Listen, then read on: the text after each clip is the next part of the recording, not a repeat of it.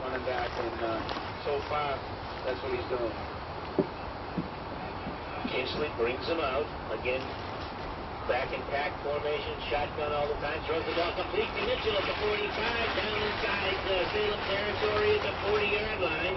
First and 10 for the Swampscott Big Blue. Nice catch by Mitchell